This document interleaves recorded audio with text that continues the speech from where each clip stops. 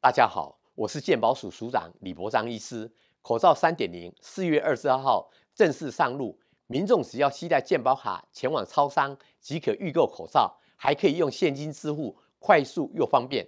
超商预购口罩只要透过五个步骤：一、选择方便取货的四大超商服务机台；二、点选防疫大作战；三、插入健保卡；四、填写口罩订购资料；五、列印缴费单，完成缴费。为了避免忘记缴费，你使用网络或健保署 APP 完成口罩预购后，都可以直接线上付款。您如果不习惯使用网络或无法前往药局购买口罩，欢迎利用超商通路口罩购买更便利，台湾防疫更全面。